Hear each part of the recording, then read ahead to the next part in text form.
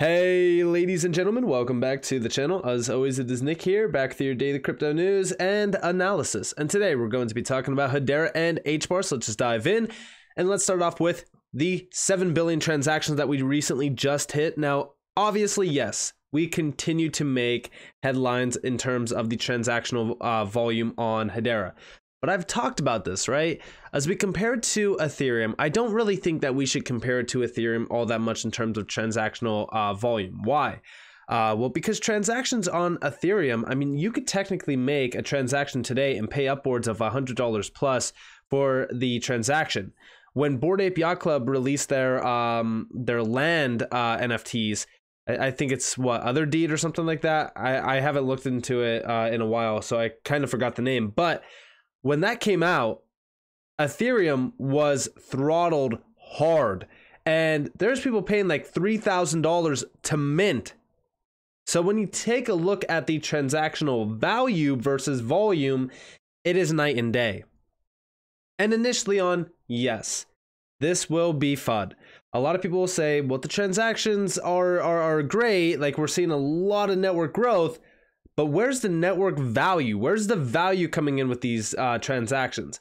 And see, that's their goal. That's what they want to do. They want to have these transactions that are low cost because microtransactions, well, guess what? It's a huge market. But also, this is very beneficial to anyone that wants to utilize the network. I've talked about this even in a call with an NFT artist that wants to mint on uh, Hedera. I was talking to them and I was discussing the idea on like why NFT artists are going to flood into Hedera very soon. And it's because they they will basically pocket more money on any mints, on any sales, transactions, etc. because they're not getting hit with massive gas fees.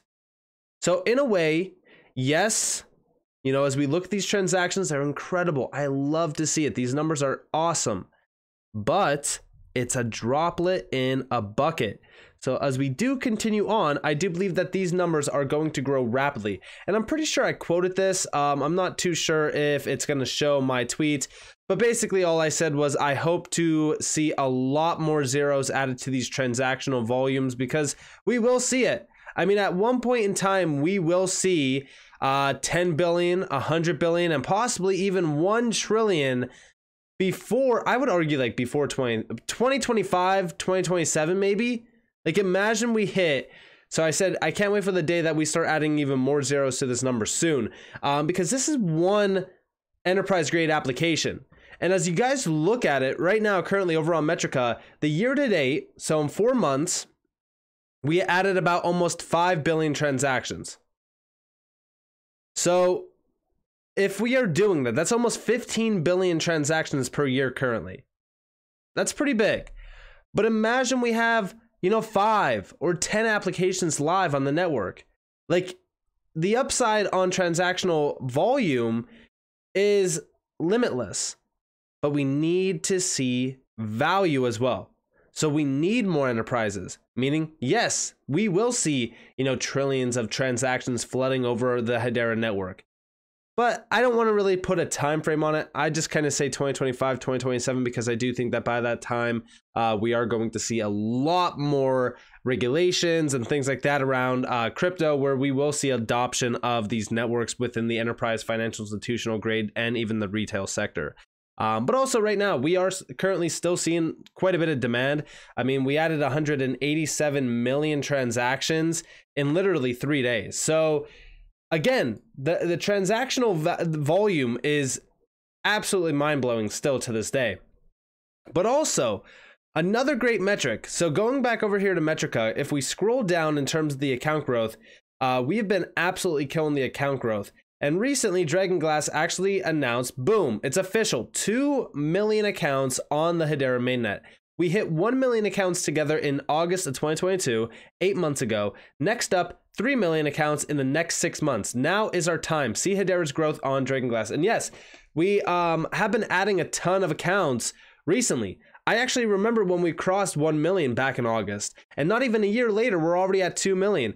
It truly is starting to. You, you can see the network blossoming. Um, a lot of people will talk about Hedera and laugh about Hedera and say, oh, this is going nowhere. It's going this, the whatever. But the truth of the matter is, this network is still in its infancy. We are still seeing this thing grow. They want to be a hundred year old company. So if you think about that, you know, like take a step back and realize just how early you are. Imagine, like, think about like this.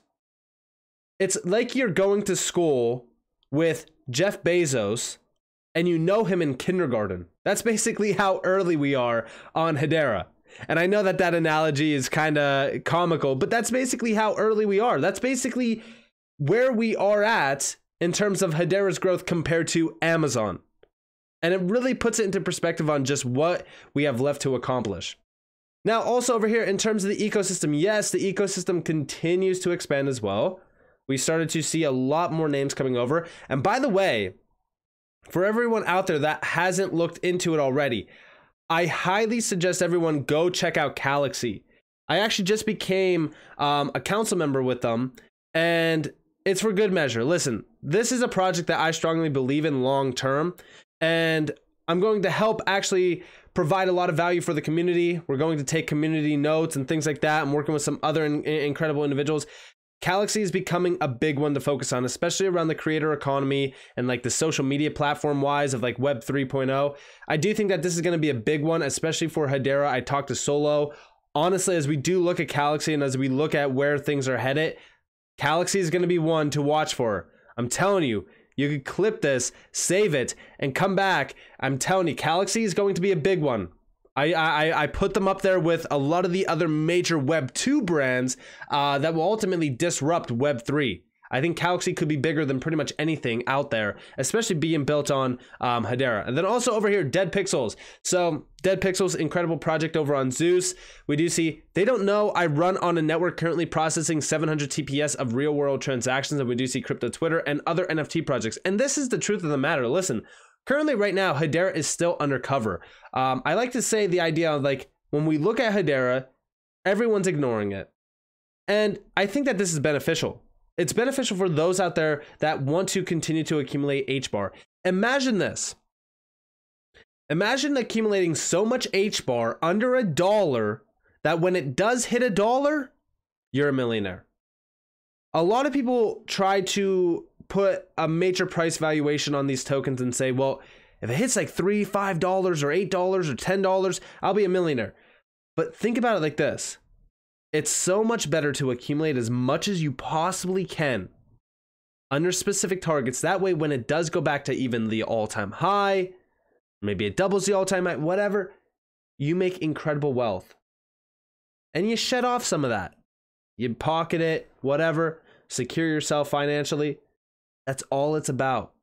You don't have to bag hold forever. Make sure that you are taking profits. Make sure that you are, you know, securing yourself because it's crucial to. Now, also, Hedera TVL. So this has been flatlined, and I'm going to talk to you guys a little bit about something uh, here in a second that's very important. TVL has been flatlined so far. We have these little run ups, and very similar to like a price chart, yes, it's consolidating. I do strongly believe that TVL is about to go skyrocketing into uh, possibly like $150 million back to this level here, and possibly even higher. Um, and the reasoning for this is because usually what we see on TVL, and usually the the idea around TVL is that it increases as price increases as well because individuals want to lock their HBAR, they want to earn on their HBAR while it's pumping. It's usually the same thing that happens with um, uh, even Ethereum, right? If we go back over here to chains and we go to Ethereum and we look at the TVL, so again, very similar to uh, going all the way back to like 2020 and even 2021. Like right now in 2023, this has started to go on the uptrend. We actually start to see it started 2023 out with 38.3 billion dollars worth of TVL. This increased drastically to about $61.5 billion. This is also because the the amount locked up is gaining value as well. So TVL will rise as prices rise as well, which I do think is another big thing to think about with HBAR TVL. Um, but this usually runs up with the prices. You guys do see here all the way into May of 2021. This is the sell off of the summer of 2021. And then we have another run up here. TVL follows price pretty closely, I will say. Now, the important thing to look at um the altcoin market here's the daily chart for the altcoin market this thing looks absolutely incredible follow the trend. What do I mean by that? Well, here you guys have a perfect example of it following the trend. Look closely at the 10 daily EMA, that yellow line there. It followed the trend, followed the trend, followed the trend all the way until February. We lost the trend a little bit, but we came back down to test the 51 day EMA.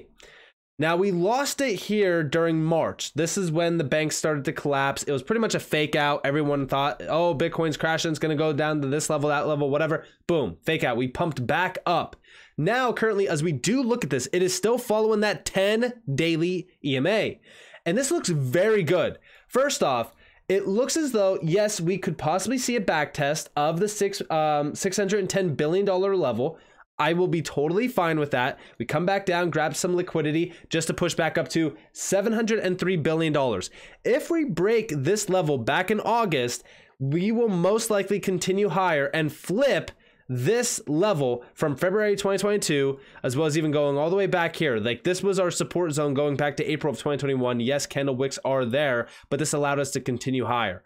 I do think if we could flip this level here, we will target that next level. And ultimately, if we flip this, it's going to be extremely bullish for altcoins. But even currently, as we do look at like the three day, check out the three day. This is why I'm saying that we will most likely possibly see a retest of $610 billion.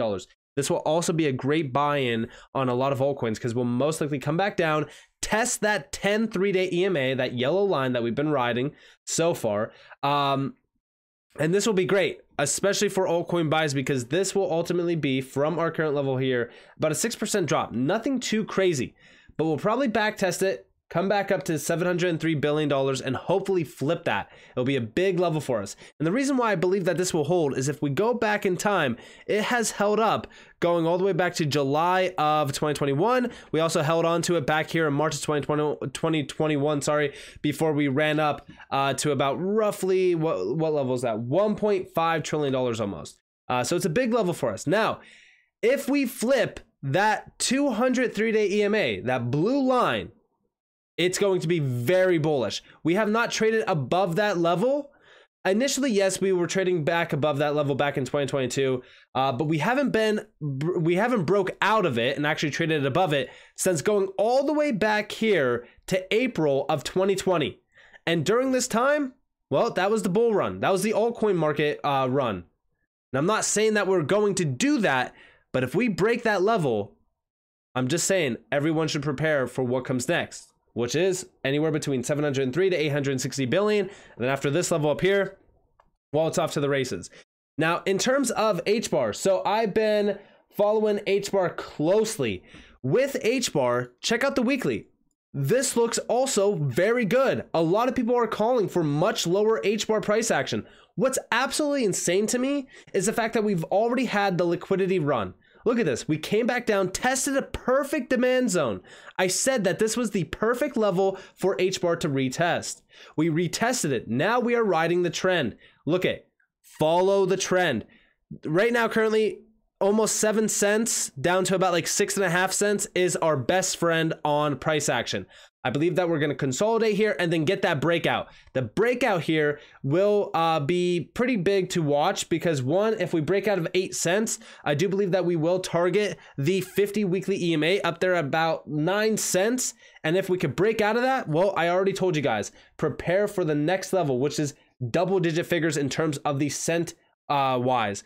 So 15 cents to roughly 19 cents is my TP on this next run up on HBAR. And currently, right now, the HBAR Bitcoin price chart looks very good from my perspective because as we look at it, Yes, this has been in a massive downtrend. We started to break out back here. We couldn't do it. I do believe that on this next test of the 10 weekly EMA, we will get that breakout. But I've also been looking at this from the three day perspective, which we are trying, we are attempting. I think the three day is probably one of the biggest ones to look at because we've already seen a double tap almost on the support zone down here. And what I'm watching for is a big break to the upside. I believe altcoins are about to run. Now, a lot of people have been asking me about like HBAR's price action this uh, run up.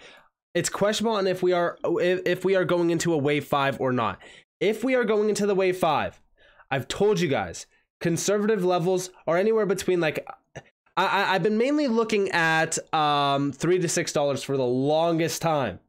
I still believe that we could see three to six dollars. But conservative levels, if I wanted to be extremely conservative, I will say probably anywhere between uh two dollars and I think it was like 50 cents, I believe. I'll, I'll have to look at it real quick, but two dollars and fifty cents to about roughly like a dollar uh 50 as well. So within this like dollar range up here.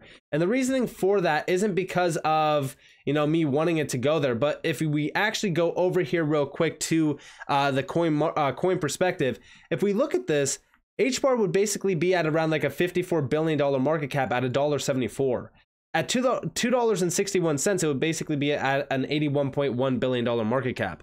Very similar to um, ADA, which we talked about recently. You know, ADA hit a one hundred billion dollar plus market cap on its run up back in twenty twenty one. This would essentially be a 46x opportunity run on Hedera right into the $3 plus range which I believe could happen if we have that wave five.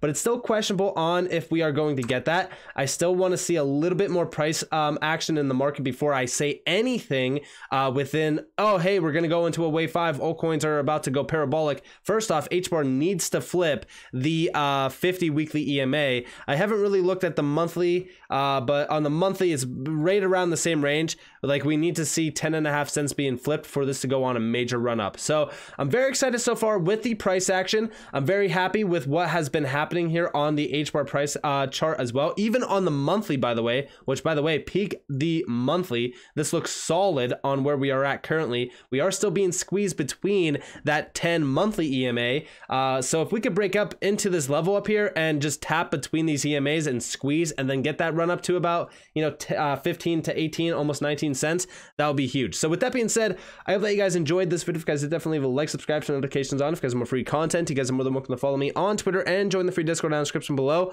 Uh, so it's up that you all have a beautiful day or a beautiful night wherever you guys are in this beautiful world. Has been Nick. Peace out, guys.